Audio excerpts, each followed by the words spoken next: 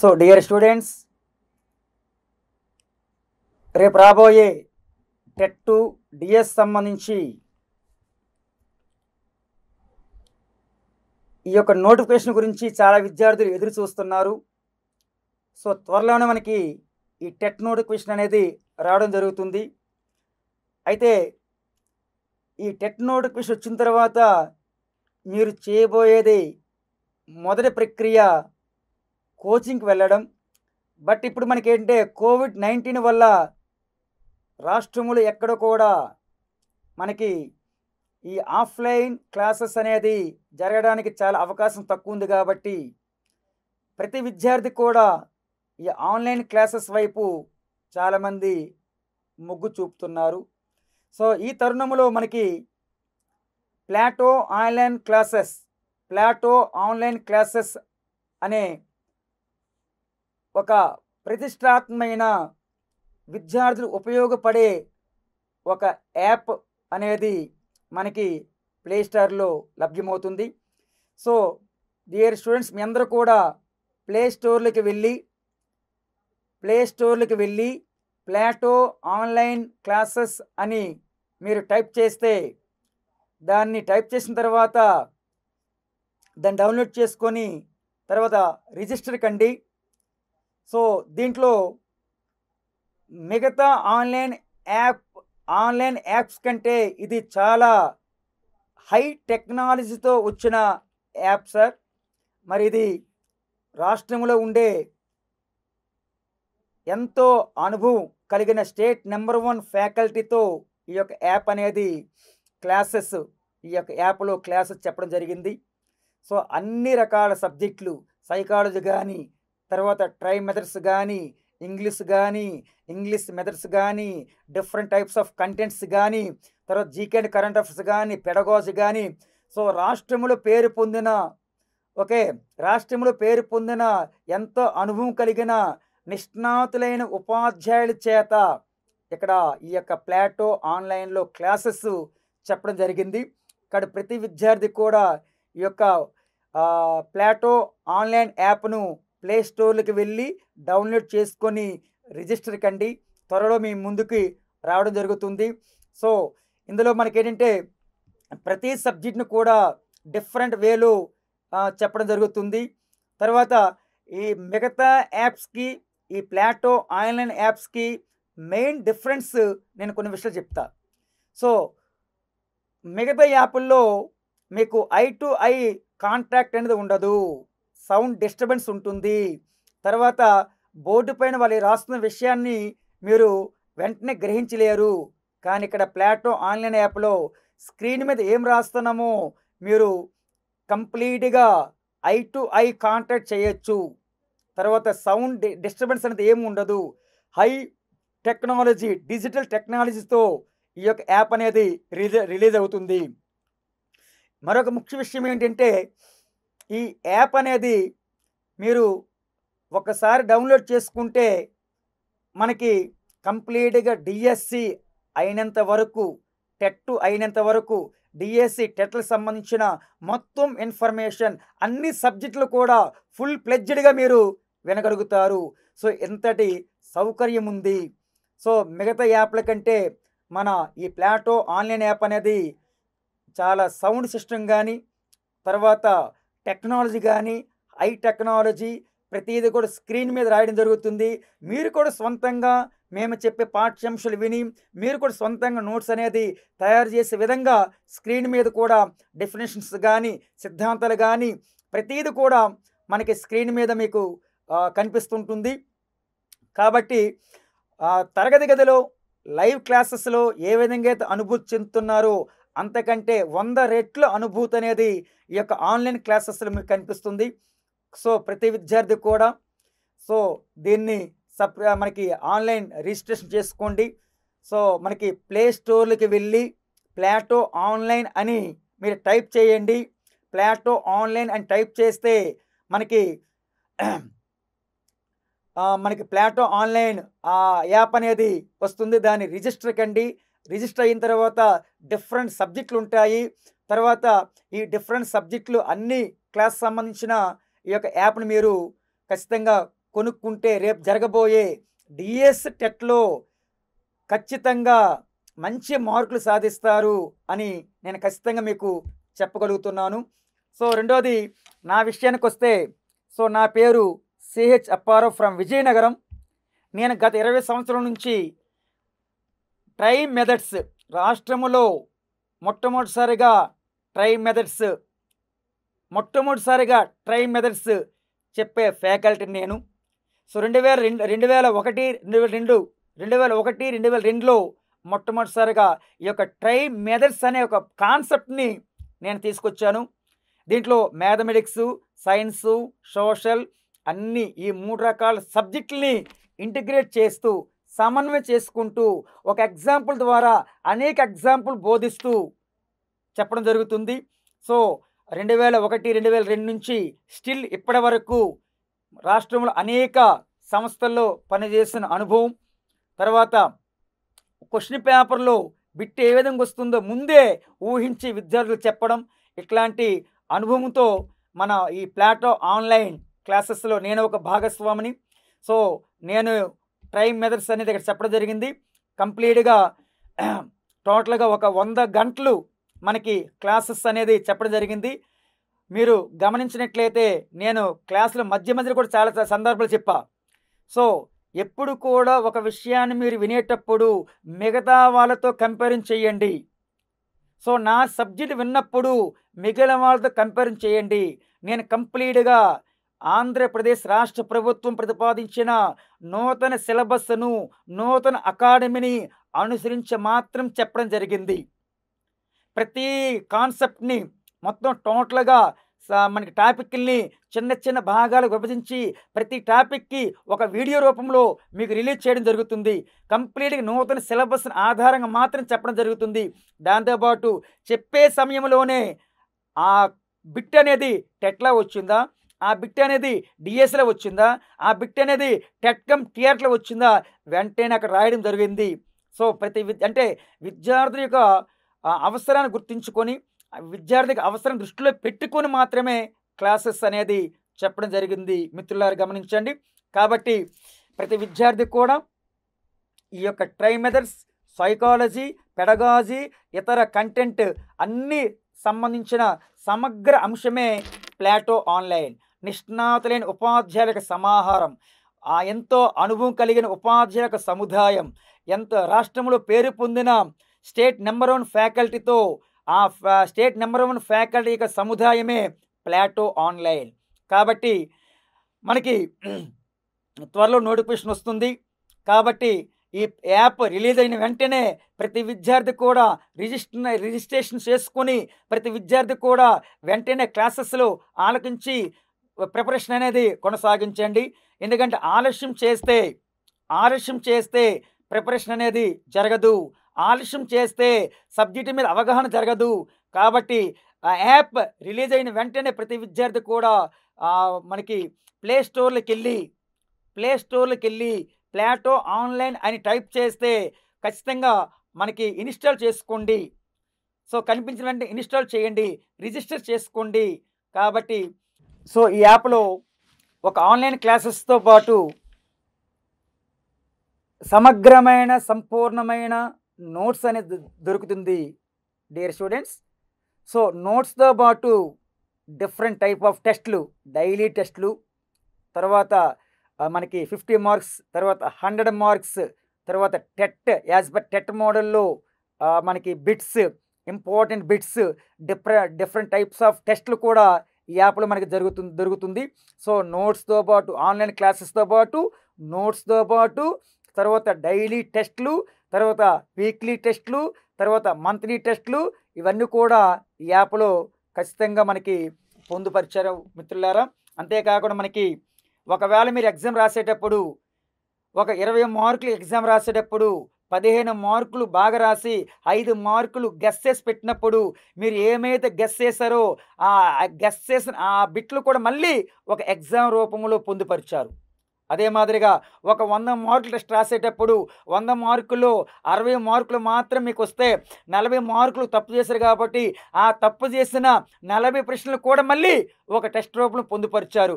అంటే డిఎస్ టెట్లో విజయం సాధించినంత వరకు ఈ ప్లాటో ఆన్లైన్ యాప్ అనేది మీ వెంటే ఉంటుంది మీతోనే ఉంటుంది మీ విజయంలో ఒక భాగస్వామ్యం అవుతుంది. కాబట్టి ప్రతి విద్యార్థి కూడా ప్రతి విద్యార్థి కూడా ఈ యొక్క యాప్ను మనకి డౌన్లోడ్ చేసుకొని తర్వాత రిజిస్ట్రేషన్ చేసుకోండి.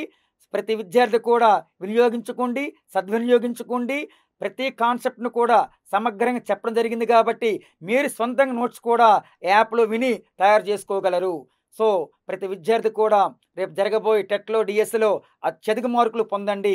ఈ మన యాప్ వల్ల ఖచ్చితంగా మీరు అత్యధిక మార్కులు పొందగలుగుతారు. దాంట్లో ఎటువంటి సందేహం లేదు. ఈ యాప్ మీతో పాటు మీ ఫ్రెండ్స్ కూడా తెలియజేయండి. మీ ఫ్రెండ్స్ మీ బంధువులకి స్నేహితులందరికీ కూడా తెలియజేసి ఈ యాప్ యొక్క ప్రత్యేకతని ఈ యాప్ యొక్క ఉపయోగాన్ని కూడా మీరు తెలియజేయగలరు. కాబట్టి రాష్ట్రంలో ఉండే నా యొక్క స్టూడెంట్స్ ప్రధానంగా. సో ఎంతోమంది రెండు వేల నుంచి రెండు వేల ఒకటి నుంచి ఇంతవరకు ఎంతోమంది స్టూడెంట్స్ రాష్ట్రం మొత్తం మీద తెలంగాణ తర్వాత ఆంధ్రప్రదేశ్ రాష్ట్రం ఎంతోమంది స్టూడెంట్స్ నా స్టూడెంట్స్ చాలామంది ఉన్నారు. కాబట్టి ప్రతి పాఠశాలలో ఒక ఒక ఉపాధ్యాయుడిగా నా యొక్క స్టూడెంట్స్ ఉన్నారు. కాబట్టి ఆ ప్రతి విద్యార్థి కూడా తనతో పాటు తన తోటి విద్యార్థులకు కూడా మన యాప్ యొక్క ప్రయోజనాల గురించి మన యాప్ యొక్క గొప్పతనం గురించి మన యాప్లో బోధిస్తున్న ఫ్యాకల్టీ గురించి చెప్పండి. ప్రతి విద్యార్థి కూడా వినియోగించే విధంగా చేయండి. సో ప్రతి విద్యార్థికి కూడా నా యొక్క అభినందనలు తెలియజేస్తున్నా. రేపు టెట్లో ఖచ్చితంగా ఎక్కువ మార్కులు సంపాదించి మళ్ళీ మీ అందరూ కూడా ఉపాధ్యాయులుగా మనకి మనకి ఉపాధ్యాయులుగా ఖచ్చితంగా సెలెక్ట్ అవుతారని సో నా తరపున మన ప్లాటో ఆన్లైన్ తరపున మన ఫ్యాకల్టీ తరపున అందరి తరపున మీకు ధన్యవాదాలు. తర్వాత ఆశీస్సులు తెలియజేస్తున్నా. ప్రస్తుతం ప్రజెంటు విద్యా ప్రమాణాలు అనే టాపిక్ని మనం అధ్యయనం చేద్దాం. సో విద్యా ప్రమాణాలు అనే ఒక పాఠ్యాంశం అనేది ప్రస్తుతం ఆంధ్రప్రదేశ్ ప్రభుత్వ పాఠశాలలో అమలు చేస్తున్న ఒక కాన్సెప్ట్ అనేది. సో ప్రతి విద్యార్థి కూడా ఏం నేర్చుకోవాలి ఏం నేర్చుకుని ఉన్నాడు సో ఇట్లాంటి అంశాలు కూడా తెలియజేసేవి అకాడమిక్ స్టాండర్డ్స్. సో విద్యా ప్రమాణము అనే దానికి ఈ విద్యా ప్రమాణాలు అనే కాన్సెప్ట్ అనేది మ్యాథమెటిక్స్లో ఉంటుంది సైన్స్లో ఉంటుంది సోషల్లో ఉంటాయి. సో అందువల్ల వీటిని గణిత విద్యా ప్రమాణాలు సైన్స్ విద్యా ప్రమాణాలు సోషల్ విద్యా ప్రమాణాలు అని మూడు రకాలుగా డివైడ్ చేసి మనం చెప్పడం జరుగుతుంది సార్. సో విద్యా ప్రమాణాలు అనే ఒక కాన్సెప్ట్ అనేది న్యూ కాన్సెప్ట్ ఇది. సో మన గత టెట్లో కానీ మొన్న జరిగిన టెట్కమ్ టీఎట్లో కానీ నెంబర్ ఆఫ్ క్వశ్చన్స్ ఇవ్వడం జరిగింది. సో ఈ విద్యా ప్రమాణాలని కాన్సెప్ట్ అనేది ఓల్డ్ టెక్స్ట్ బుక్లో ఉండదు న్యూ టెక్స్ట్ బుక్లో మాత్రం ఉంటుంది. కాబట్టి ఈ విద్యా ప్రమాణాలు అనే కాన్సెప్ట్ అనేది మ్యాథ్స్ సైన్స్ సోషల్ మూడు విభాగాలకు మనం అప్లై చేసి చెప్పుకుంటాం. సో ప్రజెంట్ మనం విద్యా ప్రమాణం అనే దానికి సంబంధించిన కాన్సెప్ట్ నేర్చుకుంటున్నాం. Right sir. సో విద్యా ప్రమాణాలు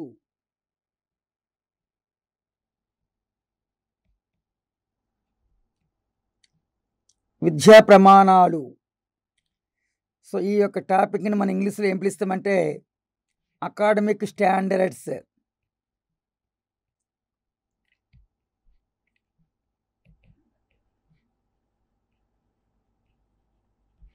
విద్యా ప్రమాణాలు. Academic standards. Academic standards. Right sir. అయితే ఇందులో విద్యా ప్రమాణాలు ఈ యొక్క టాపిక్ని మనం మూడు అంశాలకి మూడు సబ్జెక్టులు కూడా అప్లై చేస్తాం కాబట్టి సో ఫస్ట్ కాన్సెప్ట్ ఏంటంటే గణిత విద్యా ప్రమాణాలు. రైట్ మిత్రులారా విషయం గమనించండి. మనం చెప్తున్నది ట్రై మెథడ్స్ కాబట్టి ఈ విద్యా ప్రమాణాలు మూడు సబ్జెక్టులు కూడా అప్లై చేసి ఎక్స్ప్లెయిన్ చేయవలసిన అవసరం ఉంది. సో గణిత విద్యా ప్రమాణాలు అనేది ఫస్ట్ కాన్సెప్టు రెండోది సైన్స్ విద్యా ప్రమాణాలు. ఇది రెండో కాన్సెప్టు సైన్స్ విద్యా ప్రమాణాలు. రెండో కాన్సెప్ట్ సార్ మరి మూడోది ఏంటంటే సోషల్ విద్యా ప్రమాణాలు. సోషల్ విద్యా ప్రమాణాలు అనేది మూడో కాన్సెప్ట్. సో ఈ మూడు కాన్సెప్ట్ల గురించి ఎక్స్ప్లెయిన్ చేస్తే అప్పుడు ఈ టాపిక్ అనేది మనకి క్లియర్ అవుతుంది సార్. సో ఫస్ట్ వన్ గణిత విద్యా ప్రమాణాలు. గణిత విద్యా ప్రమాణాల గురించి మనం ఇప్పుడు డిస్కస్ చేద్దాం. గణిత విద్యా ప్రమాణాలు ఎన్ని ఉంటాయి? వాటికి పేర్లు ఏంటి? వాటికి సంబంధించిన ఎగ్జాంపుల్స్ ఏంటి? అనేది మనం నేర్చుకుందాం. Mathematics. Mathematics academic standards. Academic standards. Mathematics academic standards. Right sir. ఈ గణిత విద్యా ప్రమాణాల గురించి ఒక మూడు స్టేట్మెంట్స్ మనకి చాలా ఇంపార్టెంట్ ఆ మూడు స్టేట్మెంట్స్ ఒకసారి మనం డిస్కస్ చేద్దాం. అందులో ఫస్ట్ స్టేట్మెంట్ ఏంటంటే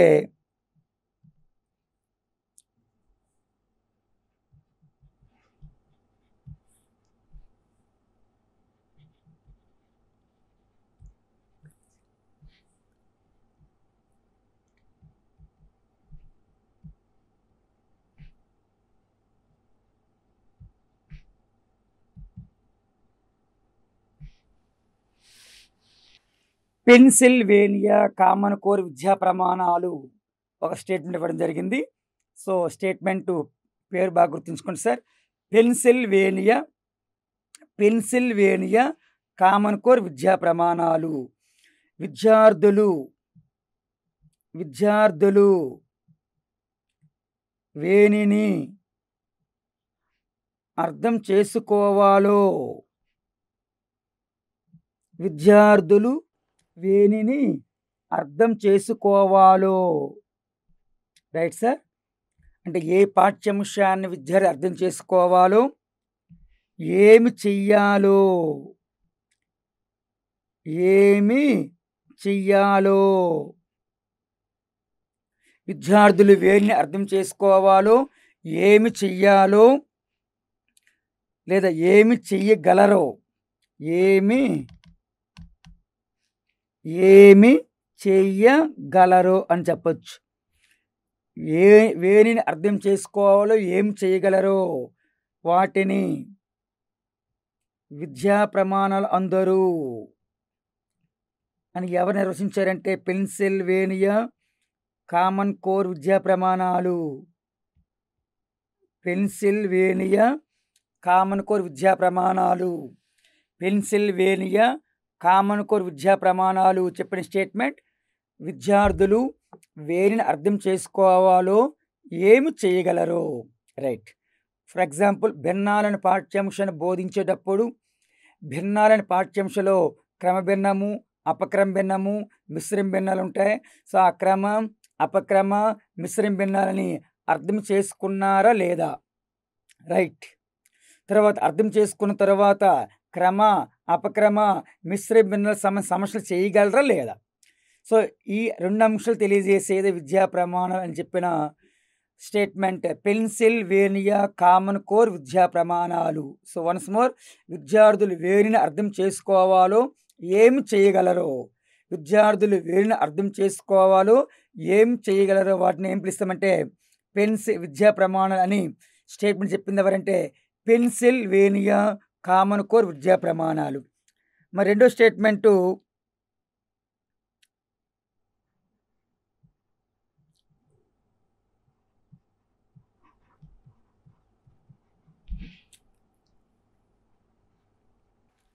రెండో స్టేట్మెంట్ ఎవరిదంటే విస్కాన్సిన్ విద్యా ప్రమాణాలు. విస్కాన్సిన్ విద్యా ప్రమాణాలు. ఎక్కడైతే పెన్సిల్వేనియా కామన్ కోర్ విద్యా ప్రమాణాలు రెండో స్టేట్మెంట్లో విస్కాన్సిన్ విస్కాన్సిన్ విద్యా ప్రమాణాలు సో ఈ యొక్క స్టేట్మెంటు ఎలా మనం చెప్తామంటే విద్యార్థులు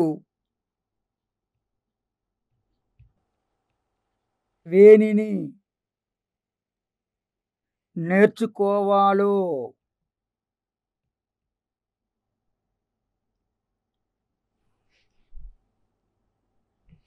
విద్యార్థులు వేనిని నేర్చుకోవాలో. వేనిని చెయ్యగలరు. వేనిని చెయ్యగలరు. వాటిని విద్యా ప్రమాణాలు అందరూ. వాటిని విద్యా ప్రమాణాలు అందరూ. By the definition of Wisconsin విద్యా ప్రమాణాలు సార్. సో ఒక్కొక్క స్టేట్మెంట్ వైవిధ్యంగా ఉంటుంది. ఈ వైవిధ్యమైన స్టేట్మెంట్స్ మీరు గుర్తుంచుకోవాలి. గుర్తుంచుకోవాలంటే ప్రతి విషయాన్ని కూడా బాగా గ్రహించాలి. సో విద్యార్థులు వేరిని నేర్చుకోవాలో వేరిని చేయగలరు సో ఫస్ట్ స్టేట్మెంట్లో వేరిని అర్థం చేసుకోవాలో వేరిని చేయగలరు రెండు స్టేట్మెంట్లు విద్యార్థులు వేరిని నేర్చుకోవాలో వేరిని చేయగలరు అది. సో మూడోది మన స్టేట్ సంబంధించిన ఎస్సిఆర్టి ఒక స్టేట్మెంట్ చెప్పడం జరిగింది. State council education research and training SCERT ప్రతి స్టేట్కి కూడా ఎస్సిఆర్టీ ఉంటుంది. మన ఏపీ ఎస్సిఆర్టీ ఒక స్టేట్మెంట్ చెప్పండి సార్ జరిగింది సార్. దేనికి విద్యా ప్రమాణాలకి? ఒక విద్యార్థి విద్యను అభ్యసించినప్పుడు ఒక విద్యార్థి విద్యను అభ్యసించినప్పుడు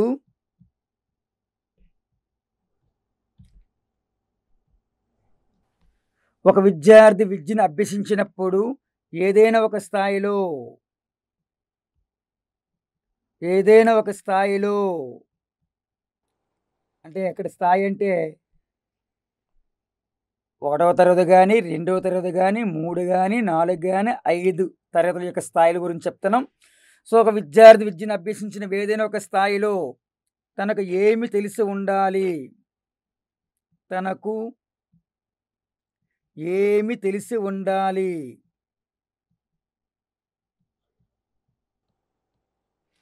తనకు ఏమి తెలిసి ఉండాలి? ఏమి నేర్చుకుని ఉండాలి?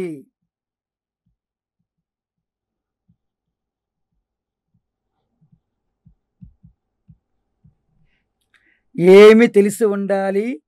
ఏమి నేర్చుకుని ఉండాలి? ఏమి చెయ్యగలిగి ఉండాలి? ఏమి చెయ్యగలిగి ఉండాలి? ఏమి తెలిసి ఉండాలి? ఏమి నేర్చుకుని ఉండాలి? ఏమి చేయగలిగి ఉండాలి? అనే ప్రశ్నలకు సమాధానాలనే అనే ప్రశ్నలకు అనే ప్రశ్నలకు సమాధానాలనే విద్యా ప్రమాణాలు అందరు. విద్యా ప్రమాణాలు అందరు. Right sir. Once more. So గణిత విద్యా ప్రమాణాల గురించి మనం డిస్కస్ చేస్తాను ఈ గణిత విద్యా ప్రమాణాల్లో first statement Pennsylvania common core విద్యా ప్రమాణాలు రెండో స్టేట్మెంట్ విస్కాన్సిన్ విద్యా ప్రమాణాలు మూడో స్టేట్మెంట్ ఎస్ఆర్కి సంబంధించిన స్టేట్మెంట్. విద్యార్థులు వేరిని అర్థం చేసుకోవాలో ఏమి చేయగలరో వాటిని విద్యా ప్రమాణాలు అందరు అని చెప్పింది ఎవరంటే పెన్సిల్వేనియా కామన్ కోర్ విద్యా ప్రమాణాలు. తర్వాత విద్యార్థులు వేరిని నేర్చుకోవాలో వేరిని చేయగలరు. వేనిని చేయగలరు సో చెయ్యగలరు అనే ఒక కాన్సెప్ట్ కామన్గా ఉంటుంది. సో ఇది ఎవరు చెప్పారంటే విస్కాన్సిన్ విద్యా ప్రమాణాలు. మన ఎస్ఆర్టీ ఏపీఎస్ఆర్టీ ఏం చెప్పిందంటే విద్యార్థి విద్యను అభ్యసించినప్పుడు ఒక స్థాయిలో ఏదైనా ఒక స్థాయిలో ఏమి తెలిసి ఉండాలి ఏమి నేర్చుకుని ఉండాలి ఏమి చేయగలిగి ఉండాలి రైట్ ఏమి తెలిసి ఉండాలి ఏమి నేర్చుకుని ఉండాలి ఏమి చేయగలిగి ఉండాలి అనే ప్రశ్నలకు సమాధానాలే విద్యా ప్రమాణాలని చెప్పడం జరిగింది ఎవరంటే ఎస్ఆర్టీ రైట్? ఒక ఎగ్జాంపుల్ తీసుకుందాం. ఇందాక మేము తీసుకున్న భిన్నాలు తీసుకున్నాం. ఇప్పుడు సంఖ్యా వ్యవస్థ తీసుకుందాం. సహజ సంఖ్యలు ఒక కాన్సెప్ట్ తీసుకుందాం. సహజ సంఖ్యలు అనే పాఠ్యాంశాన్ని నేర్చుకున్నప్పుడు విద్యార్థి ఒక స్థాయిలో ఏదైనా ఒక స్థాయిలో ఒక మూడో తరగతి స్థాయిలో తీసుకుందాం. థర్డ్ క్లాస్ స్థాయిలో ఆ స- సంఖ్యల గురించి ఏం తెలిసి ఉండాలి? సహజ సంఖ్యలు అంటే ఏంటి? సహజ సంఖ్యలు ఎక్కడి నుంచి స్టార్ట్ అవుతాయి అని విషయాలు. ఏమి నేర్చుకుని ఉండాలి క్లాస్ రూమ్లో? ఈ సహజ సంఖ్యల గురించి ఏం నేర్చుకుని ఉండాలి? సో నేర్చుకున్న తర్వాత ఆ సహసంఖ్యలతో రకరకాల చతుర్విధ ప్రక్రియలు చేయగలిగి ఉండాలి. చతుర్విధ ప్రక్రియల్ని చేయగలిగి ఉండాలి. సో ఈ మూడు ప్రశ్నలకు సమాధానాలే విద్యా ప్రమాణాలు అని ఎవరు చెప్పారంటే SERT right sir. So next concept ఏంటంటే విద్యా ప్రమాణాల ఆవశ్యకత. విద్యా ప్రమాణాల ఆవశ్యకత అంటే ఉపయోగం.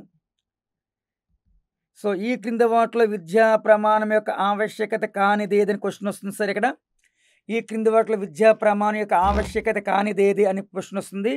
సో ప్రతి విద్యార్థి కూడా జాగ్రత్తగా ఆలోచించాలి. సో విద్యా ప్రమాణాల యొక్క ఉపయోగం ఏంటి? సో ఏ విధంగా ఉపయోగపడతాయి విద్యా ప్రమాణాలు అని ఒక కాన్సెప్ట్ తీసుకుందాం.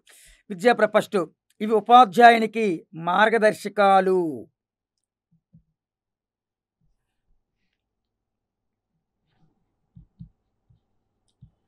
ఈ ఉపాధ్యాయునికి మార్గదర్శకాలు. అది సో ఎప్పుడు కూడా అకాడమిక్ స్టాండర్డ్స్ అనేవి ఉపాధ్యాయునికి గైడ్లైన్స్ ఇస్తాయి. ఉపాధ్యాయునికి ఒక గైడెన్స్ ఇస్తాయి. ఉపాధ్యాయునికి ఏం చెప్పండి? మార్గదర్శకత్వం మార్గదర్శకాలు ఎప్పుడు కూడా విద్యా ప్రమాణాలు. తరగతి గదిలో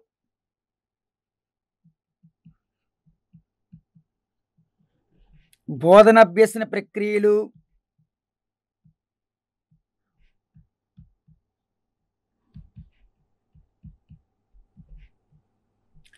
తరగతి గదిలో బోధనాభ్యసన ప్రక్రియలు ఎలా ఉండాలో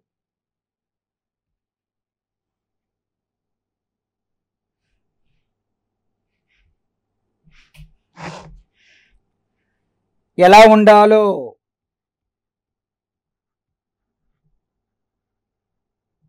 దిశానిర్దేశము చేస్తాయి.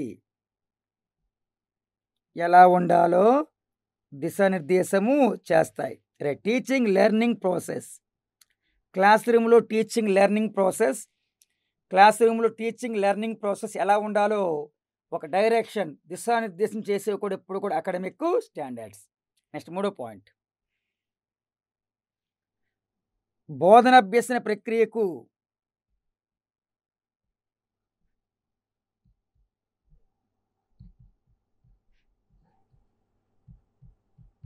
బోధన అభ్యసన ప్రక్రియకు గమ్యాలను నిర్దేశిస్తాయి.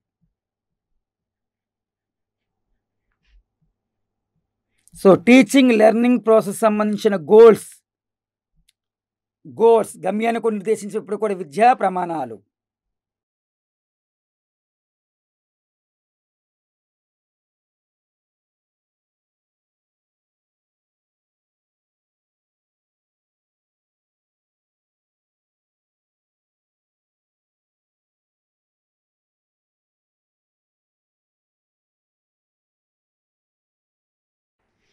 సో విద్యా ప్రమాణం యొక్క ఆవశ్యకతను ఐదు పాయింట్స్గా మనం డివైడ్ చేసాం ఇవి ఉపాధ్యాయునికి మార్గదర్శకాలు తరగతి గదిలో బోధనాభ్యసన ప్రక్రియలు ఎలా ఉండాలో దిశానిర్దేశం చేస్తాయి.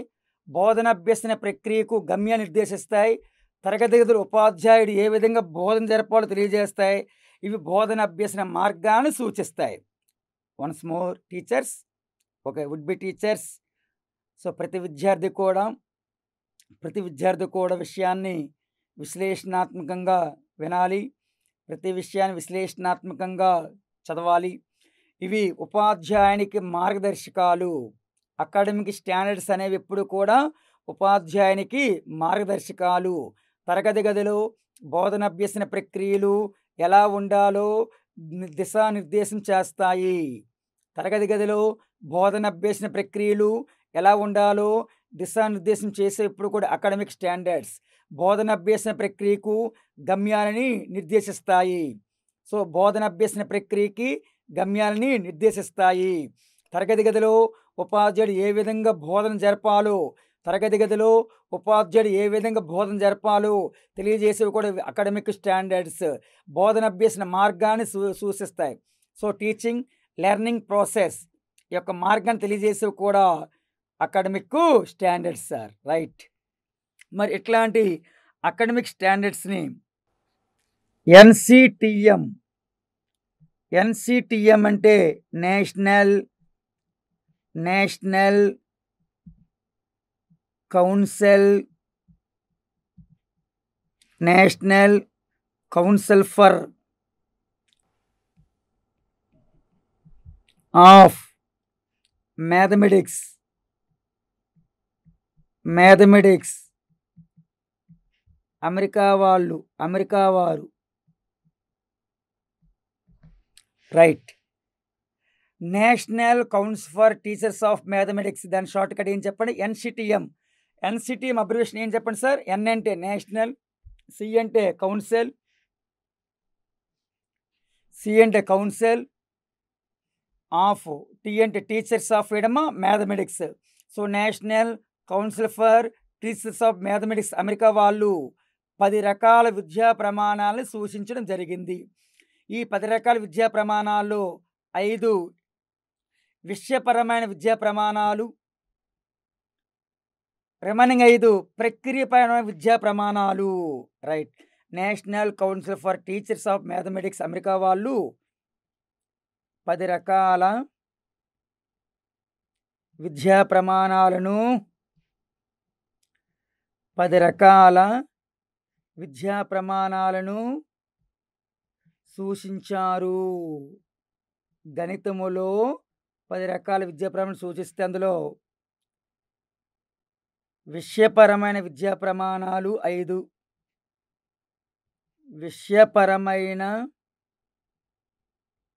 విషయపరమైన విద్యా ప్రమాణాలు విషయపరమైన విద్యా ప్రమాణాలు ఐదు. ప్రక్రియపరమైన ప్రక్రియపరమైన విద్యా ప్రమాణాలు ఐదు. విషయపరమైన విద్యా ప్రమాణాలు ఐదు. ప్రక్రియపరమైన విద్యా ప్రమాణాలు ఐదు. ఎవరు చెప్పారంటే ఎన్సిటిఎం అబ్రివేషన్ ఏం చెప్పండి sir? National council for teachers of mathematics ఈ యొక్క ఈ సంఘం ఎక్కడుందంటే అమెరికాలో ఉంది. జాతీయ ఉపాధ్యాయ విద్య గణిత జాతీయ జాతీయ ఉపాధ్యాయ గణిత విద్యా సంఘం అనేది అమెరికాలో ఉంది. సో పది రకాల విద్యా ప్రమాణాలు సూచించారు. అందులో ఒకటి విషయపరమైన విద్యా ప్రమాణాలు రెండు ప్రక్రియపరమైన విద్యా ప్రమాణాలు. విషయపరమైన విద్యా ప్రమాణాలు ఐదు ప్రక్రియపరమైన విద్యా ప్రమాణాలు ఐదు. వాటి గురించి మనం డిస్కస్ చేస్తాం సార్ ఇప్పుడు. సో మొత్తం ఈ పది రకాల విద్యా ప్రమాణాలు ఎవరు సూచించారంటే national council for teachers of mathematics. ఇది ఎక్కడ ఉందంటే అమెరికా. సో అందులో విషయపరమైన విద్యా ప్రమాణాలు ఐదు ప్రక్రియపరమైన విద్యా ప్రమాణాలు ఐదు.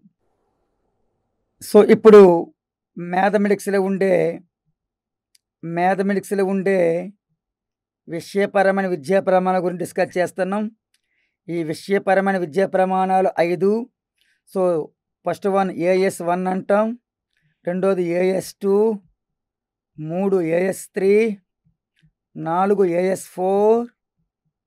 ఐదు ఏఎస్ ఫైవ్. ఇలా గుర్తుంచుకోండి sir. AS one academic standard one.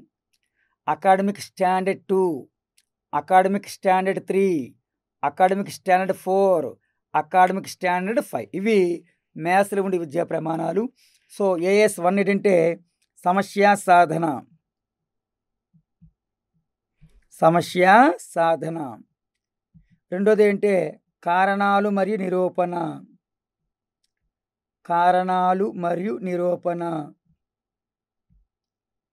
So మూడోది ఏంటంటే మనకి వ్యక్తపరుచుట. మూడోది వ్యక్తపరుచుట. నాలుగోది అనుసంధానము. నాలుగోది అనుసంధానము. ఐదోది దృశ్యీకరణ. దృశ్యీకరణ మరియు ప్రాతినిధ్యపరుచుట.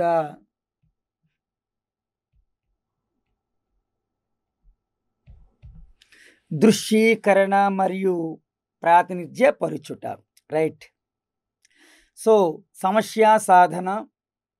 రెండవది కారణాలు మరి నిరూపణ. మూడు వ్యక్తపరచుట. నాలుగు అనుసంధానము. ఐదు దృశ్యీకరణ మరియు ప్రాతినిధ్యపరచుట. ఈ యొక్క ఐదు విద్యా ప్రమాణాలని ఈ యొక్క ఐదు విద్యా ప్రమాణాలని ఆర్డర్లోని గుర్తించుకుంటే చాలా మంచిది. ఎందుకంటే మొదటి విద్యా ప్రమాణం రెండో విద్యా ప్రమాణం మూడో విద్యా ప్రమాణం నాలుగు విద్యా ప్రమాణం ఐదు విద్యా ప్రమాణం అని అడిగిన అడగడానికి చాలా అవకాశాలు ఉన్నాయి కాబట్టి AS one AS two AS three AS four AS five వాటికి గురించి వివరణ మనం ఎక్స్ప్లెనేషన్ నేర్చుకుందాం. సో వన్స్ మోర్ గణిత విద్యా ప్రమాణాలు ఇవి విషయపరమ విద్యా ప్రమాణాలు ఐదు ప్రక్రియపరమైన విద్యా ప్రమాణం గురించి మనం ప్రస్తావన అక్కర్లేదు. సో విషయపరమైన విద్యా ప్రమాణం గురించి మనం ప్రస్తావించుకుంటాం. ఇవి ఐదు రకాలు. ఏఎస్ వన్ సమస్య సాధన సమస్య సాధన. ప్రాబ్లం సాల్వింగ్ అంటాం ఇంగ్లీష్లో. Problem solving. ఏఎస్ టూ కారణాలమ నిరూపణ రీజనింగ్ అండ్ ప్రూఫ్ అంటాం. Reasoning and proof. AS three వ్యక్తపరుచుట communication అంటాం. కమ్యూనికేషన్. ఏఎస్ ఫోర్ అనుసంధానము కనెక్షన్ అంటాం. ఏఎస్ ఫైవ్ దృశ్యీకరణ ప్రాతినిధ్యపరచడము. దృశ్యీకరణ విజువలైజేషన్ అండ్ రిప్రజెంటేషన్ పిలుస్తాం. విజువలైజేషన్. విజువలైజేషన్ అంటే దృశ్యీకరణ రిప్రజెంటేషన్ అంటే ప్రాతినిధ్య పరచుట. ఇవి ఐదు రకాల విద్యా ప్రమాణాలని మనకి గణితంలో ఉపయోగించడం జరిగింది. సో గణితం విద్యా ప్రమాణం మనకి అన్ని ఐదు. సో ఇప్పుడు ఒక్కొక్క దాని గురించి మనం నేర్చుకుంటున్నాం. ఫస్ట్ సమస్య సాధన. చెప్పండి సార్ ఫస్ట్ వన్ ఏంటి? సమస్య సాధన. సమస్య సాధన. సో సమస్య సాధన దీనికి ప్రతి విద్యా ప్రమాణానికి కొన్ని ఏముంటాయి? లెర్నింగ్ ఇండికేటర్స్ ఉంటాయి. లెర్నింగ్ ఇండికేటర్స్ అంటే అభ్యసన సూచికలు. What mister? అభ్యసన సూచికలు. సో ఈ అభ్యసన సూచికల ఆధారంగా మనం అది ఏ విద్యా ప్రమాణం అనేది ఈజీగా ఫైండ్ అవుట్ చేయొచ్చు. లెర్నింగ్. లెర్నింగ్ ఇండికేటర్స్ అని పిలుస్తుంది ఇంగ్లీష్లో. లెర్నింగ్ ఇండికేటర్స్ అంటే అభ్యసన సూచికలు. సో దీనికి ఒక మూడు రకాల అభ్యసన సూచికలు మనం చెప్పచ్చు. మూడు రకాల అభ్యసన సూచికలు. సమస్యను చదవడం. ఫస్ట్ వన్ సమస్యను చదవడం. విద్యార్థులు ఇచ్చిన సమస్యను చదవడం అనేది ఒక అభ్యసన సూచిక. సమస్య సాధనకు సమస్య సాధనకు విభిన్నమైన సమస్య సాధనకు విభిన్నమైన వ్యూహాలు పద్ధతులు ఎన్నుకోవడం విభిన్నమైన వ్యూహాలు పద్ధతులను ఎన్నుకోనుట పద్ధతులను ఎన్నుకునుట ఎన్నుకునుట. సమస్య సాధన ద్వారా సమస్య సాధన ద్వారా నూతన జ్ఞానాన్ని నిర్మాణం చేసుకునుట. నూతన జ్ఞానాన్ని నిర్మాణము చేసుకునుట. నూతన జ్ఞానాన్ని నిర్మాణము చేసుకునుట. సో ఈ మూడు కూడా మనకి అభ్యసన సూచికలు. దేనికంటే సమస్య సాధన. సో దీనికి ప్రతి అకాడమిక్ స్టాండర్డ్స్కి అభ్యసన సూచికలు ఉంటాయి. తర్వాత ఎగ్జాంపుల్స్ ఉంటాయి. సో డిఎస్లో మనకి ఒక ఎగ్జాంపుల్ ఇచ్చేసి ఆ ఎగ్జాంపుల్ ద్వారా సాధించబడే గణిత విద్యా ప్రమాణం మీద క్వశ్చన్ వస్తుంది. కాబట్టి ఎగ్జాంపుల్స్ కూడా మనకి ఇంపార్టెంట్. సో విద్యార్థి సమస్యను చదవడం సమస్య సాధనకు విభిన్నమైన వ్యూహాలను పద్ధతుల్ని ఎన్నుకోవడం. సమస్య సాధన తర్వాత సాధన ద్వారా నూతన జ్ఞానాన్ని నిర్మించుకుండు. సో ఈ మూడు కూడా సమస్య సాధన సంబంధించిన learning indicators. Okay sir? So ఇక్కడ మనకి ఐదు రకాల విద్యా ప్రమాణాల్లో ఫస్ట్ది గురించి డిస్కస్ చేస్తున్నాం. సో ఫస్ట్ది అంటే ప్రాబ్లమ్ సాల్వింగ్ సమస్యని సాధించడం. రెండవది కారణాలు మరియు నిరూపణ. మూడోది వ్యక్తపరచుట. నాలుగోది అనుసంధానం. ఐదోది దృశ్యీకరణ మరియు ప్రాతినిధ్యపరచడం వీటిని AS one AS two AS three AS four AS ఫైవ్గా names కూడా మనం ఇవ్వడం జరిగింది. సో ఫస్ట్ సమస్య సాధన. దానికి ఏముంటాయి? లెర్నింగ్ ఇండికేటర్స్ ఉంటాయి. ఇక విద్యార్థి ఏం చేస్తాడంటే సమస్యను చదవడం ఫస్ట్. సమస్యను చదవడం. Read the problem read the problem తర్వాత ఆ సమస్య సాధనకు డిఫరెంట్ టైప్స్ ఆఫ్ మెథడ్స్ టెక్నిక్స్ని ఎన్నిక చేస్తాడు. డిఫరెంట్ టైప్స్ ఆఫ్ మెథడ్స్ కానీ టెక్నిక్స్ కానీ ఎన్నిక ఉంటాడు. తర్వాత సమస్య సాధన ద్వారా నూతన జ్ఞానాన్ని ఆ కొత్త జ్ఞానాన్ని నిర్మాణం చేసుకుంటాడు. ఈ విధంగా సమస్య సాధన అనేది జరుగుతుంది. సో దీనికి సంబంధించిన ఎగ్జాంపుల్స్ ఏంటి గమనిద్దాం. ఒకటి స్టూడెంట్స్ ఎగ్జాంపుల్స్ సో గణితములు ఎప్పుడు ఎక్కువగా మనకి ఏముంటాయంటే ప్రాబ్లమ్ సాల్వింగ్స్ ఉంటాయి. సో గణితం అంటేనే సమస్య. సో సమస్య సాధన ఉంటుంది గణితంలో ఏంటి? ఇచ్చిన సంఖ్యలకు వర్గాలు కనుక్కోవడము. ఇచ్చిన సంఖ్యలకు వర్గాలను కనుక్కోవడం. So వర్గాలంటే squares. వర్గాలంటే ఏంటి సార్? స్క్వేర్స్. వర్గాలను కనుక్కొనుట. ఫర్ ఎగ్జాంపుల్ ట్వంటీ ఫోర్ ఇచ్చాం. సో దానికి వర్గం ఎంత అవుద్ది ట్వంటీ ఫోర్ స్క్వేర్ ఆ విధంగా. కాబట్టి ఇచ్చిన సంఖ్యలకి ఏం చెప్పండి? వర్గాల్ని కనుక్కుంటాం. సో ట్వంటీ ఫైవ్ ఇచ్చాం. సో ట్వంటీ ఫైవ్ యొక్క వర్గాన్ని కనుక్కోండి అని ఇచ్చాం. అది ఒక సమస్య సాధనం. సో విద్యార్థి ఏం చేస్తాడు? Twenty five into twenty five so is equal to six twenty five అని ఆన్సర్ చేస్తాడు. కాబట్టి ఇచ్చిన సంఖ్యలకి ఏం కనుక్కుంటాం? స్క్వేర్ కనుక్కుంటాడు ఎవడు విద్యార్థి. ఆ వర్గం కనుక్కోవడం అనేది ఎందులోకి వస్తుంది? సమస్య సాధన. సో ఇచ్చిన సంఖ్యలకు వర్గమూలాన్ని కనుక్కోవడం. ఇచ్చిన సంఖ్యలకు వర్గమూలాలను స్క్వేర్ రూట్స్ స్క్వేర్ రూట్స్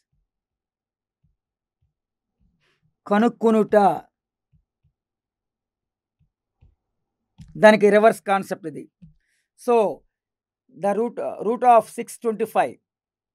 ఆరు వందల ఇరవై ఐదుకి వర్గమూలం కనుక్కోండి అని ఇచ్చాం సో విద్యార్థి ఏం చేస్తారు ఇక్కడ? సమస్యను చదువుతాడు. సమస్య సాధనకు అవసరమైన వ్యూహాల పద్ధతులను ఎన్నుకుంటాడు. సమస్య సాధన ద్వారా నూతన జ్ఞానాన్ని నిర్మించడం చేసుకుంటాడు. కాబట్టి వర్గాన్ని కొనుక్కోవడం వర్గమూలను కొనుక్కోవడం ఘనాన్ని కొనుక్కోవడం ఘనమూలను కొనుక్కోవడం ఎల్సిఎం హెచ్ఎఫ్లు చేయడం వృ- వైశాల్యాలు చుట్టుకొలత ప్రాబ్లమ్స్ చేయడం ఇవన్నీ కూడా ఎప్పుడు కూడా ప్రాబ్లమ్ సాల్వింగ్లోకి వస్తాయి. కాబట్టి ఇచ్చిన సంఖ్యలకు వర్గాలు కనుక్కోవడం ఇచ్చిన సంఖ్యలకు వర్గమూలను కనుక్కోవడం. నెక్స్ట్ ఎగ్జాంపుల్ త్రీ ఇచ్చిన సంఖ్యలకు గణాన్ని కనుక్కోవడం.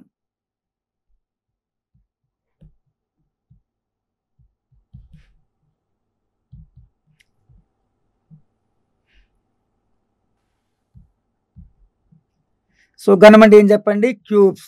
ఇచ్చిన సంఖ్యలకు గణాలను కనుక్కునుట. సో ఏ విధంగా అంటే ఒక సంఖ్య ఇవ్వడం దాని యొక్క గణాన్ని కనుక్కోవడం. ఉదాహరణకి ఫైవ్. ఐదు యొక్క గణం కనుక్కోవడం అంటే విద్యార్థులు ఏం చేస్తాడు? ఐదు క్యూబ్ వేస్తాడు. ఐదు ఇంటూ ఐదు ఇంటూ ఐదు అని ఆన్సర్ చేస్తాడు. ఇక్కడ ఇచ్చిన సంఖ్యలకు గణాలను కనుక్కోవడం. దీనికి రివర్స్ వస్తుంది మళ్ళీ. విపర్యం ఇది. ఇచ్చిన సంఖ్యలకు గలం ఘనమూలను కనుక్కోవడం. ఘనమూలాన్ని కనుక్కోవడం. ఘనమూలాన్ని క్యూబ్ రూట్ అంటారు ఇంగ్లీష్ దీన్ని. Cube root.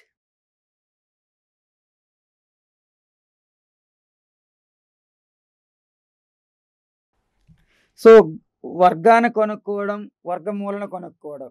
ఘనాలు కొనుక్కోవడం ఘనమూలను కొనుక్కోవడం. ఇది ఫోర్త్ ఎగ్జాంపుల్ అయింది సార్. నెక్స్ట్ ఫిఫ్త్ ఎగ్జాంపుల్ ఏంటి?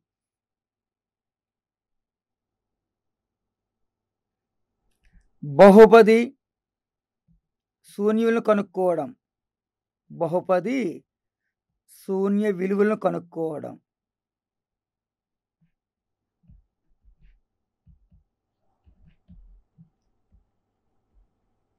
ఏ విధంగా అంటే for example four x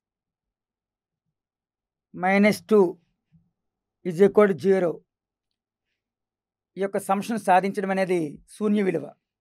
Four x is equal to two that implies x is equal to two by four is equal to one by two ఇది బహుపది శూన్య విలువ. So ఈ విధంగా కనుక్కోవడం కూడా ఎందులోకి వస్తుందంటే సమస్య సాధనే. సమస్య సాధన. కాబట్టి బహుబు శూన్యులు కనుక్కోవడం. నెక్స్ట్ బహుపదులను కారణాంకాలుగా విభజించడం. బహుపదులను కారణాంకాలుగా బహుపదులను కారణాంకాలుగా విభజించుట. బహుపదులను కారణాంకాలుగా విభజించుట. For example x square plus five x plus six కారణాంకాలు కనుక్కోమండం. ఇది కూడా ఇందులోకి వస్తుందండి సమస్య సాధన. So x square plus three x plus two x plus six. X common తీస్తే x plus three plus two common తీస్తే ఎక్స్ ప్లస్ త్రీ. టోటల్గా x plus three common తీస్తే రిమైనింగ్ ఉండేది ఎక్స్ ప్లస్ టూ. ఇవి ఫ్యాక్టర్స్ కనుక్కోవడం ఇచ్చిన బహుపదులకి కారణాంకాలు కనుక్కోవడం. So ఈ విధంగా మనకి రకరకాల ఎగ్జాంపుల్స్ మనం చెప్పొచ్చు. ఇందులో కొద్ది సమస్య సాధన సమస్య సాధన. ఎల్సిఎం హెచ్ఎఫ్ అంటే కసాగు మరియు గసాబా. సమస్యలు సాధించడం. సమస్యలను సాధించుట. సమస్యలను సాధించడం. నెక్స్ట్ వైశాల్య. చుట్టుకొలత. సూత్రాలు ఉపయోగించి సూత్రాలను ఉపయోగించి సమస్యలను సాధించడం. ఉపయోగించి సమస్యలను సమస్యలను సాధించుట. సమస్యలను సాధించుట. నెక్స్ట్ సాధారణ వడ్డీ. సాధారణ వడ్డీ బారు వడ్డీ సమస్యలను సాధించుట. సాధారణ వడ్డీ బారు వడ్డీ సమస్యలను సాధించుట. రేఖీయ సమీకరణాలకు రేఖీయ సమీకరణాలకు సాధనలను కనుక్కోవడం. సాధనలను కనుగొనుట. Right sir. So dear students ఒక పది రకాల ఎగ్జాంపుల్స్ మీకు ఇవ్వడం జరిగింది.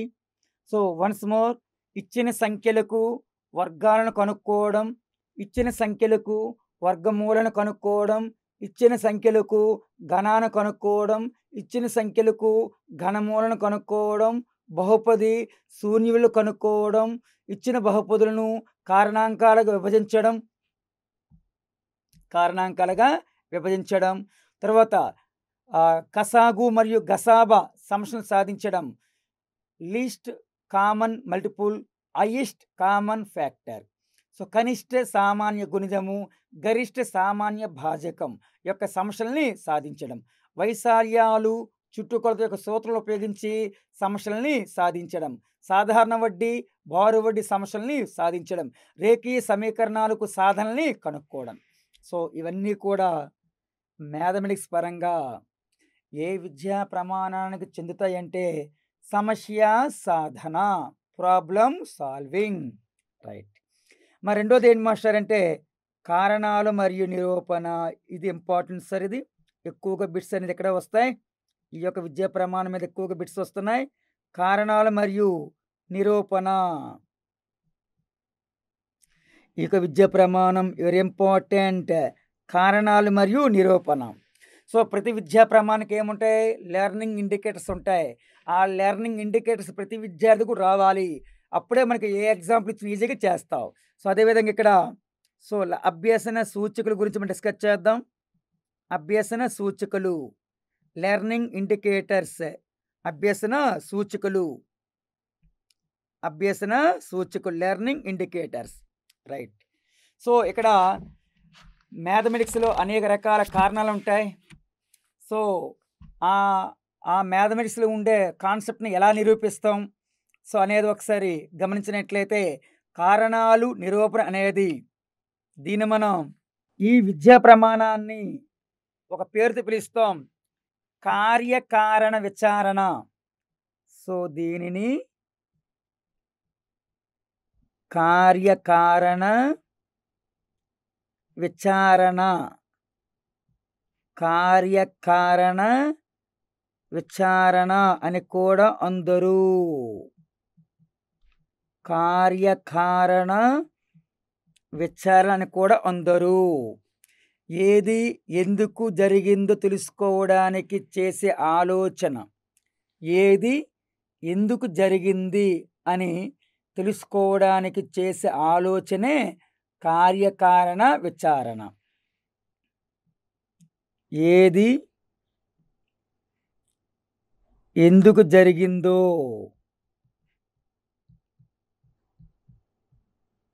తెలుసుకోవడానికి తెలుసుకోవడానికి సే చేసే ఆలోచనయే. కార్యకారణ విచారణ.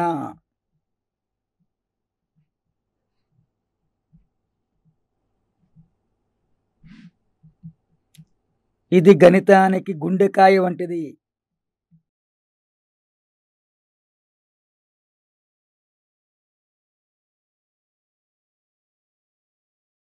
గణితానికి గుండెకాయ వంటిది అని ఈ క్రింది ఏ విద్యా ప్రమాణాన్ని పిలుస్తామంటే కారణాలు మరియు నిరూపణ. ఎందుకంటే అసలు మ్యాథమెటిక్స్ అంటేనే మనకి ఎప్పుడు కూడా కార్యకారణ విచారణ ఉంటుంది కారణాలు నిరూపణ ఉంటే కానీ విద్యార్థి నమ్మలేడు కాబట్టి అది ఏది ఎందుకు జరిగింది తెలుసుకోవడం చేసే ఆలోచన అనేది ఎక్కువగా మ్యాథ్స్లో ఉంటుంది కాబట్టి గణితానికి ఈ యొక్క విద్యా ప్రమాణం అనేది గుండెకాయ వంటిది అని చెప్తాం. సో గణితానికి గుండెకాయ వంటిది అని ఈ క్రింది విద్యా ప్రమాణాన్ని పిలుస్తాము. ఆన్సర్ కారణాలు మరియు విచారణ. కారణాలు మరియు నిరూపణ లేదా కార్యకారణ విచారణ. రైట్. సో దీనికి ఏముంటుంది చెప్పానంటే అభ్యసన సూచికలు. సో వాడి గురించి మనం ఒకసారి డిస్కస్ చేద్దాం. ఈ అభ్యసన సూచికల ఆధారంగా ఎగ్జాంపుల్స్ అనేవి మనకు వచ్చేస్తాయి. సో ఫస్ట్ వన్ ఏంటి అనేది పరిశీలిస్తే ఆగమన నిగమన పద్ధతుల నిరూపణ చేయడం. అది ఎప్పుడు కూడా ఇంతకుముందు మీకు చెప్పాను. సో ఆగమన నిగమన పద్ధతిలో సాధారణీకరణ ఉంటుంది. సో సాధారణీకరణ చేయడం అనేది ఇప్పుడు కూడా కార్యకరణ విచారణ. సో ఆగమన నిగమన ఆగమన నిగమన పద్ధతుల్లో పద్ధతులలో నిరూపణ చేయుట నిరూపణ చేయుట. రైట్. ఇది ఎప్పుడు కూడా ఆగమన పద ద్వారా నిగమన పద ద్వారా నిరూపణ చేస్తే అది ఎప్పుడు కూడా కారణాలు మరియు నిరూపణ కిందకు వస్తాయి లేదా కార్యకరణ విచారణ. సో రెండోదేంటి? గణిత పరికల్పన చేయడం. గణిత పరికల్పనలు. సో గణితంలో కూడా మనకి ఏముంటాయి? హైపోథిసిస్ ఉంటాయి. మొన్న ఇక్కడ క్లా మీకు విజ్ఞాన శాస్త్ర స్వభావాలు చెప్పాం.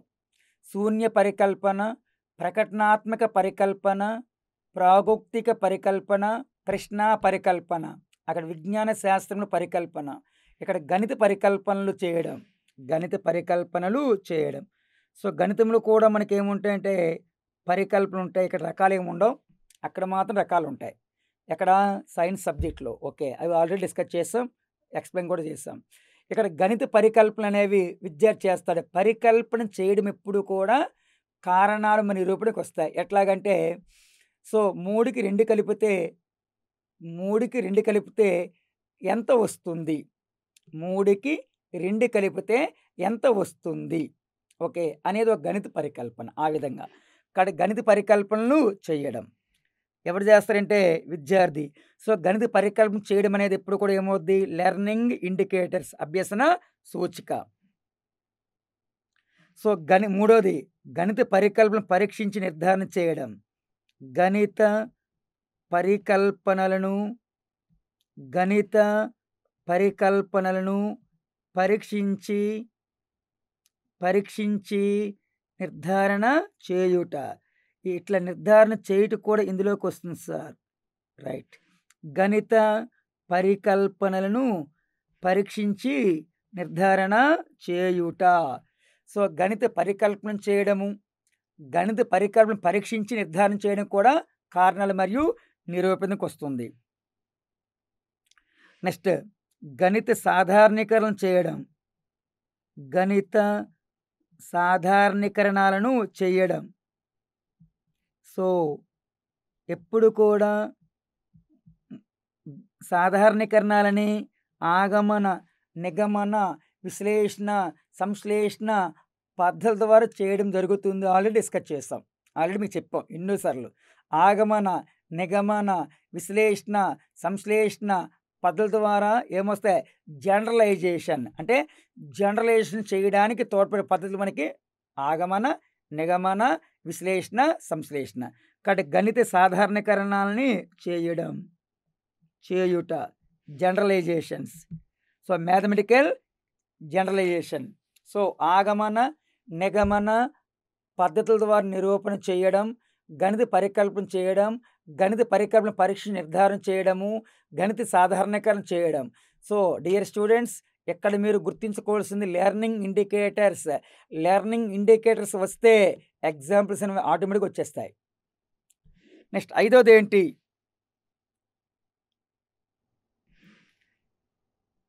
ఐదోది చాలా ఇంపార్టెంట్. ఇచ్చిన సంఖ్యలకు లేదా ఇచ్చిన సంఖ్యలను ఆరోహణ అవరోహణ క్రమంలో రాయడం.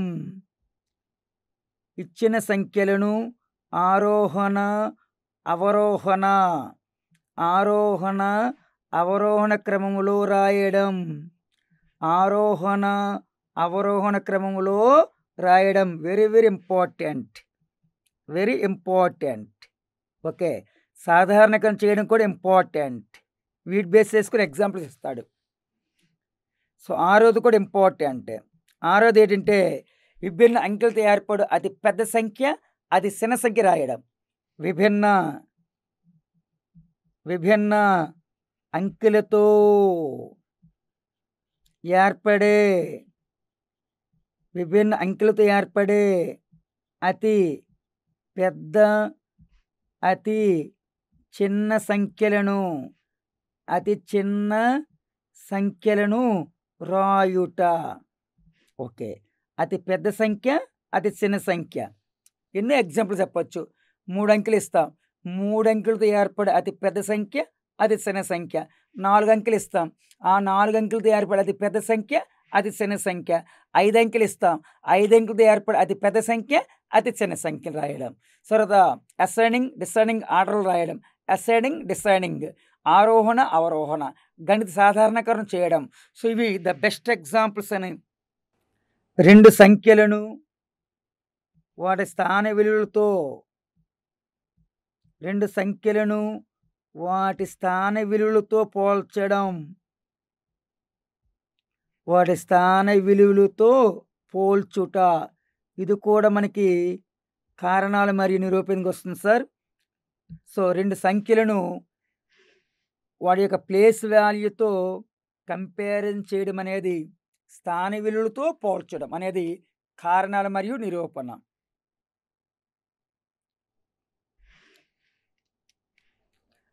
Right sir. సో ఈ యొక్క ఏడు లెర్నింగ్ ఇండికేటర్స్ బట్టి ఆ విద్యా ప్రమాణము కారణాలు మరియు నిరూపణ అనేది నువ్వు ఎగ్జామినేషన్లో అవగాహన చేసుకోవాలి.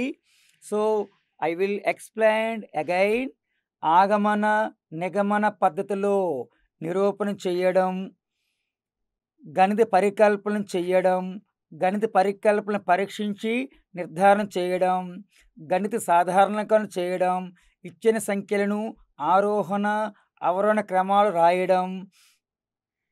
తర్వాత ఇచ్చిన సంఖ్యలు విభిన్న సంఖ్యలు ఉపయోగించి అతి పెద్ద సంఖ్య అతి చిన్న సంఖ్యను రాయడం.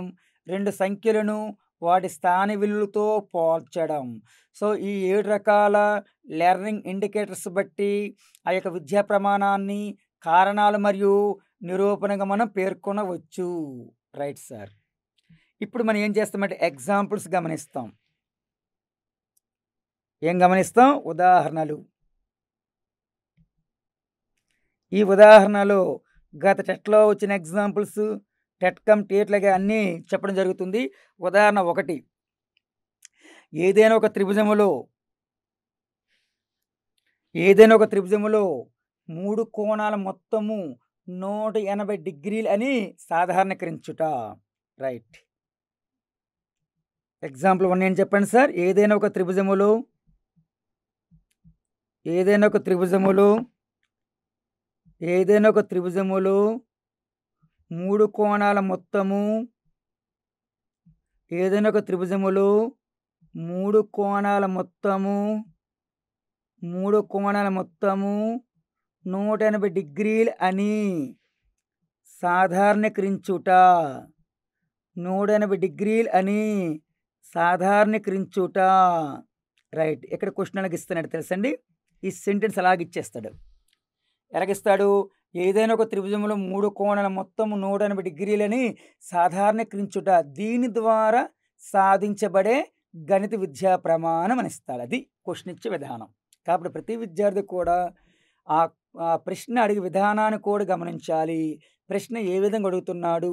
ఏ చాప్టర్ నుంచి ఎక్కువ ప్రశ్నలు వస్తున్నాయి అనేది కూడా గమనిస్తేనే రేపు డిఎస్లో ఖచ్చితంగా పోస్ట్ అనేది సాధిస్తారు. ఎందుకంటే డిఎస్ అనగానే చాలా ఎక్కువ మంది హెవీ కాంపిటీషన్ ఉంటుంది.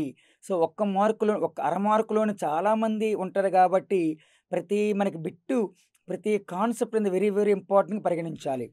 కాబట్టి ఒక త్రిభుజములో ఏదైనా ఒక త్రిభుజములో మూడు కోణాల మొత్తము నూట ఎనభై డిగ్రీలని సాధారణీకరించడం. ఇంకా మీకు గుర్తు లేకపోతే లాస్ట్లో వచ్చిన టె టర్మ్ గుర్తుంచుకోండి సార్. లాస్ట్లో ఏమొచ్చింది? జనరలైజేషన్ సాధారణీకరించడం. ముందు మీరు చెప్పా. ఎక్కడ? మనకి చూడండి ఒకసారి. నాలుగో లెర్నింగ్ ఇండికేటర్ చెప్పాను. గణిత సాధారణీకరణ చేయడం అది. సో అదే నేను మొదటి నుంచే చెప్తున్నా. ఏం చెప్తున్నానంటే నేను మీకు చెప్పిన లెర్నింగ్ ఇండికేటర్స్ని ప్రాక్టీస్ చెయ్యండి. ఆ లెర్నింగ్ ఇండికేటర్స్ బట్టి అది ఏ విద్యా ప్రమాణం అనేది నువ్వు ఆ ఎగ్జాంపుల్ గుర్తు లేకపోయినా ఆటోమేటిక్గా ఆన్సర్ వచ్చేస్తుంది. రైట్ ఎగ్జాంపుల్ టూ రెండు చేత నిశ్శేషంగా భాగించబడే రెండు చేత నిశ్శేషంగా భాగించబడే సంఖ్యలన్నీ కూడా సరి సంఖ్యలు అవుతాయని నిరూపించడం సాధారణీకరించడం అని తీసుకుంటాం. సో రెండు చేత నిశ్శేషంగా భాగించబడే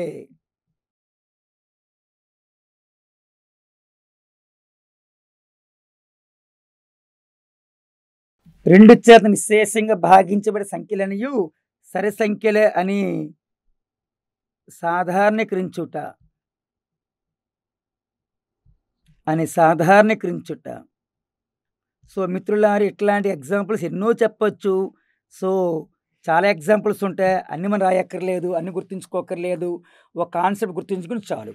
కాబట్టి ఏదైనా ఒక త్రిభుజములో మూడు కోణాల మొత్తము నూట ఎనభై డిగ్రీలని సాధారణీకరించడం రెండు చేత నిశ్శేషంగా భాగించబడే సంఖ్యలన్నీ కూడా సరే సంఖ్యలు అని సాధారణీకరించడం.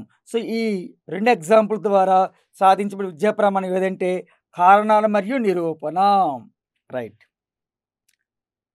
Five three minus six minus eight మరియు రెండు అను పూర్ణ సంఖ్యలను.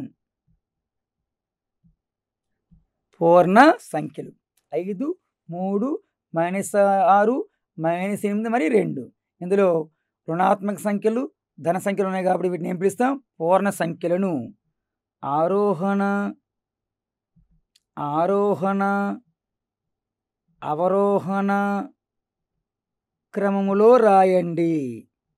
ఆరోహణ అవరోహణ క్రమములో రాయండి అని ఇచ్చారు సో దీని ద్వారా సాధించబడే విద్యా ప్రమాణం ఏదంటే అప్పుడు కారణాలు నిరూపణ. ఎందుకంటే ఆరోహణ అవరోహణ క్రమములు రాయడం యొక్క ఇండికేటర్ అనేది ఇందులో ఉంటుంది కాబట్టి ఆరోహణ అవరోహణ.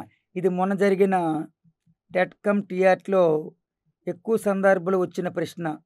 ఎక్కువ సందర్భాలు వచ్చిన ప్రశ్న. కాబట్టి ఐదు మూడు మైనస్ ఆరు మైనస్ ఎనిమిది మరియు రెండు. ఇదే ఎగ్జాంపుల్ డిఫరెంట్గా ఎన్నైనా ఇవ్వచ్చు మనం. సో ఎన్ని ఎగ్జాంపుల్ అని చెప్పొచ్చు. కానీ ఇక్కడ ఆరోహణ అవరోహణ అనేది కాన్స్టెంట్ టెర్మినాలజీ. సో ఆరోహణ అవరోహణ క్రమంలో రాయడం ఎప్పుడు కూడా ఇందులోకి వస్తుంది మనకి కారణాలు మరియు నిరూపణ. సో ఎగ్జాంపుల్ ఫోర్ గమనిస్తే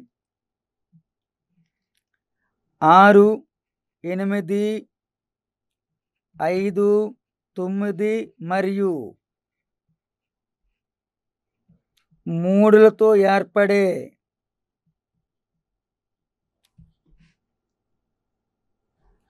ఐదంకిల ఐదంకిల మిక్కిలి పెద్ద సంఖ్యను మిక్కిలి పెద్ద సంఖ్యను మిక్కిలి చిన్న సంఖ్యను రాయండి అని ఇచ్చాం. సో లెర్నింగ్ ఇండికేటర్స్ పరిశీలిస్తే లెర్నింగ్ ఇండికేటర్స్లో ఆరోది గమనించండి సార్. ఆరోది విభిన్న అంకెలతో ఏర్పడే అతి పెద్ద అతి చిన్న సంఖ్యలు రాయడం అనేది కారణాలు మరియు నిరూపణ అది. కాబట్టి ఇక్కడ ఐదు అంకెలు ఇచ్చాం కాబట్టి ఆ ఐదు అంకెలతో ఏర్పడే మిక్కిలి పెద్ద సంఖ్య మిక్కిలి చిన్న సంఖ్య మిక్కిలి పెద్ద సంఖ్యను మిక్కిలి చిన్న సంఖ్యను రాయడం అనేది ఎప్పుడు కూడా కారణాలు మరియు నిరూపణ.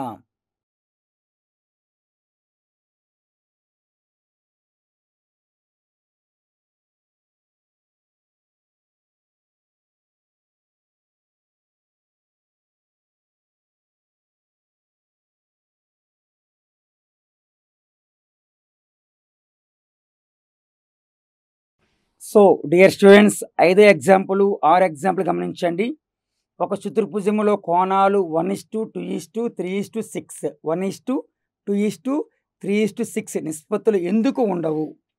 ఎందుకు ఉండవు అనే ఇక్కడ తీసుకుంటే అక్కడ విద్యార్థులు ఏం చేస్తారంటే కారణం తెలియజేస్తాడు కాబట్టి ఇట్లాంటి ఎగ్జాంపుల్ మోడల్లో ఏది అడిగినా అక్కడ ఆన్సర్ ఏం పెడతామంటే కారణాలు మరియు నిరూపణ. ఒక చతుర్భుజంలో కోణాలు one is to two is to three is to six నిష్పత్తులు ఎందుకు ఉండవు అనేది. అక్కడ ఎందుకు ఉండవు అంటే ఆ నిష్పత్తి వాల్యూ పరిశీలించి ఆ నిష్పత్తి విలువ పరిశీలించి విద్యార్థి పరిశీలిస్తాడు. ఆ నిష్పత్తి విలువ పరిశీలిస్తే మనకి ఆ నిష్పత్తి విలువ బట్టి చతుర్భుజంలో కోణాలు ఎప్పుడు కూడా నిష్పత్తిలో ఉండవని తగిన కారణాలు తెలియజేస్తాడు. కాబట్టి ఆ మోడల్లో ఉంటే ఎందుకు ఉండవు మోడల్లో ఉంటే అప్పుడు ఆన్సర్ ఏం పెట్టాలి? కారణాలు మరియు నిరూపణ. సో ఎగ్జాంపుల్ సిక్స్ పరిశీలిస్తే పూరక కోణాలు ఎల్లప్పుడూ అల్ప కోణాలే పూరక కోణాలు ఎల్లప్పుడూ అల్ప కోణాలే సమర్థించండి అనం అంటే సమర్థించండి అట్లాంటి మ్యాథ్స్లో ఉండే ఎగ్జాంపుల్స్ కూడా ఇందులోకి వస్తాయంటే కారణాలు మరియు నిరూపణ కారణాలు మరియు నిరూపణ సో డియర్ స్టూడెంట్స్ బాగా గుర్తుంచుకోండి సాధారణీకరించడము తర్వాత ఆరోహణ అవరోహణ క్రమం రాయడము తర్వాత మిక్కిలి పెద్ద సంఖ్య మిక్కిలి చిన్న సంఖ్య రాయడం అనేది ప్రధానమైన అంశాలు. సో రిమైనింగ్ అంశాలు ఏంటంటే తర్వాత నిష్పత్తులు ఎందుకు ఉండవు సమర్థించండి ఇట్లాంటి ప్రశ్నలు వచ్చినవి రెండవ విద్యా ప్రమాణానికి జుదుతాయి కాబట్టి once more I will explanation examples example one ఏదైనా ఒక త్రిభుజములు మూడు కోణాల మొత్తము నూట ఎనభై డిగ్రీలని సాధారణీకరించుట దీని ద్వారా సాధించబడే విద్యా ప్రమాణం ఏదడిగితే కారణాలు మరియు నిరూపణ. ఎగ్జాంపుల్ టూ రెండు చేత నిశేషంగా భాగించే సంఖ్యలన్నీ కూడా సరి సంఖ్యలే అని సాధారణీకరించడం. మరి దీని ద్వారా సాధించబడే విద్యా ప్రమాణము రెండు కారణాలు మరియు నిరూపణ. ఎగ్జాంపుల్ త్రీ ఐదు మూడు మైనస్ ఆరు మైనస్ ఎనిమిది మరియు రెండు అను పూర్ణ సంఖ్యలను ఆరోహణ మరియు అవరోహణ క్రమం రాయండి. మరి దీని ద్వారా సాధించబడే విద్యాపరం మనం అడిగితే కారణాలు మరియు నిరూపణ. ఎగ్జాంపుల్ ఫోర్ ఆరు ఎనిమిది ఐదు తొమ్మిది మరియు మూడుతో ఏర్పడే అతి పెద్ద సంఖ్య అతి చిన్న సంఖ్యలు రాయండి. మరి దీని ద్వారా సాధించబడే విద్యాపరం మనం అడిగితే కారణాలు మరియు నిరూపణ. సో ఐదు ఎగ్జాంపుల్ ఆరు ఎగ్జాంపుల్ అనేవి సో అవి మీకు ఎక్స్ప్లెయిన్ చేసిన కాన్సెప్ట్లే. కాబట్టి ఈ విధంగా ఈ కారణాల నిరూపణ అనే విద్యా ప్రమాణాన్ని ఈ విధంగా అప్లై చేస్తుంది సార్ మిత్రులారా. సో గణితం విద్యా ప్రమాణాలు మనకి ఐదు ఉంటాయి. ఐదు రకాల విద్యా ప్రమాణాలు. ఏఎస్ వన్ సమస్య సాధన ఏఎస్ టూ కారణాలు మరియు నిరూపణ ఏఎస్ త్రీ వ్యక్తపరచడం ఏఎస్ ఫోర్ అనుసంధానం ఏఎస్ ఫైవ్ దృశ్యీకరణ మరియు ప్రాతినిధ్య పరుచుట రైట్.